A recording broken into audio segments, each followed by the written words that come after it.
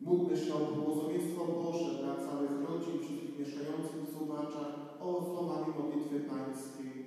Ojcze nasz, któryś jest w niebie, święcie imię Twoje, przyjdź królestwo Twoje, bądź wola Twoja, jako w niebie, tak i na ziemi.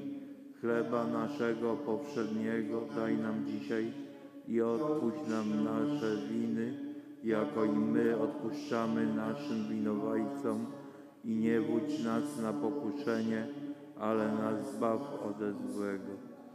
Dobry, miłosierny Boże, polecamy Twojej opiece nasz, nasze domy, rodziny i wszystko, co posiadamy.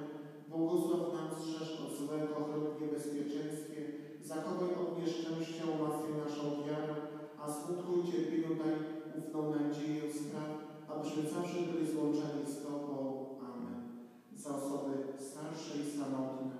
Panie Jezu Chrystu, Ty jesteś naszą mocą, nadzieją w różnych utrapieniach życia.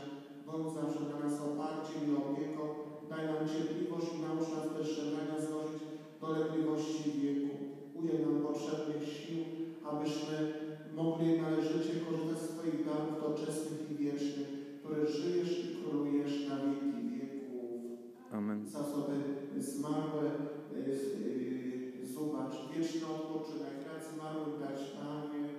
światłość wykuista niechaj im świeci na wieki. Niech odpoczywają w pokoju wiecznym. Amen. Błogosławieństwo Boże niech spoczywa na tych domach i jego mieszkańcach. Przez tej wody pokropieni niech Wam błogosławi Bóg, Ojciec i Syn i Duch Święty. Amen. Niech ta woda przypomina przyjaciół